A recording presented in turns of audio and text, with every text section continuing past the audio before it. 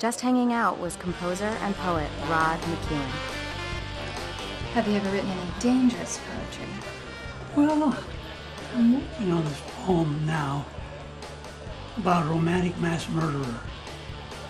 Goes around killing people because they don't believe him when he tells them he's a vampire.